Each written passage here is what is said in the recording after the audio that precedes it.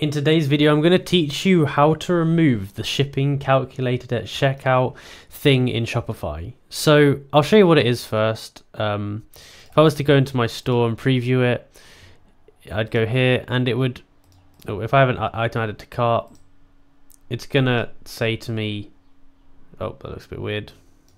It's going to say to me, tax included and ship it calculated at checkout. So I'm going to show you how to remove that. So what we want to do here is we want to go to our store, edit default theme content, and from here we want to type in calculated.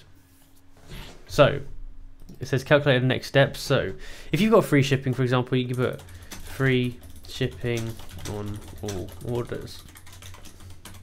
Oops.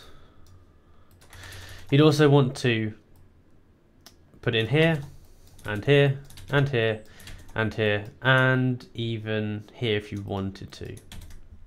So I click save. And now when I go back into the store, if I go to the store and I go to the cart, which looks very weird right now, it now says free shipping on all orders and no longer says the other thing.